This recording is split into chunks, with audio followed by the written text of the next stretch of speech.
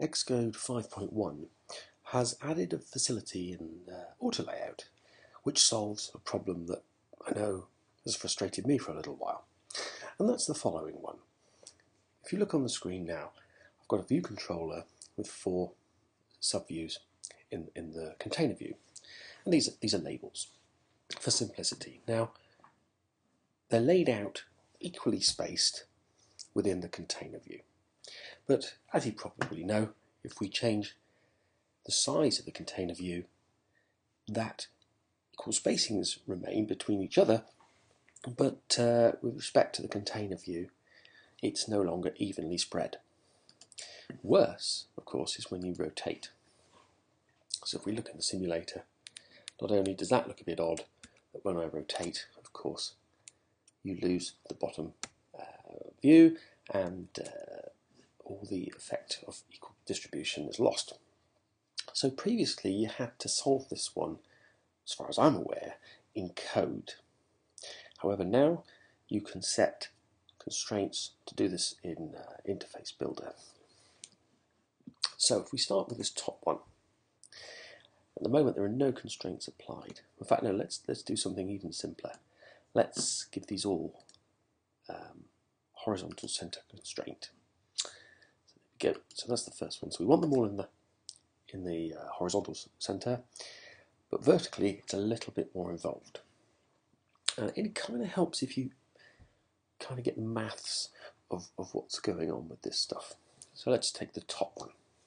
So if you imagine the height of this container view, then the center of this one would be 0.2 times the value that height. So if the height was 100, that would be 20 pixels down, 40, 60, and 80. So let's actually get Interface Builder uh, to uh, do that. So I'm going to add a constraint, and the way I like to do this is actually to do what you might not expect is go to the bottom space to bottom layout guide. And so we see this constraint added here. And at the moment, it's a constant. It's 373 pixels from the bottom. Now, let's first of all play around with this, just so you can see cause and effect. Let's make that zero. No surprise, the uh, label has now moved to the bottom because it's 1 times the bottom layout guide plus 0. Let's now fiddle around with this one. 0.5.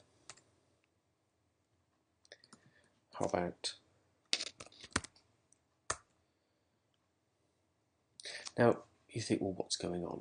And this is where I think another little change in interface builder really helps. And we need to think about the maths. First item they've got here is the bottom layout guide. Now I find that counterintuitive. So I'm going to do this reverse first and second item. Okay let's go back to that constraint. Which I've now lost.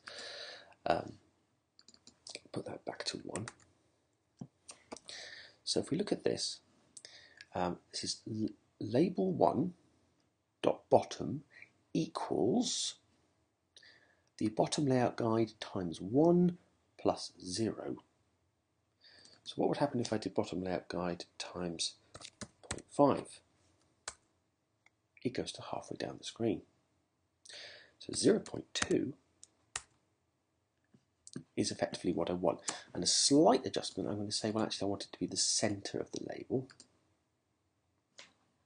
Okay, and that'll come up as a center Y constraint here. So the center Y value of this one is 0.2 times this plus 0. And now we replicate that. This will be 0.4, 0.6, and 0.8. So let's do that. I'm going to kind of skip the video to save repetition. I'll just do the last one. Okay, so let's do that again for the, uh, for the last one here. So uh, again, we want this constraint relative to the bottom layout guide. Grab hold of it by clicking on it.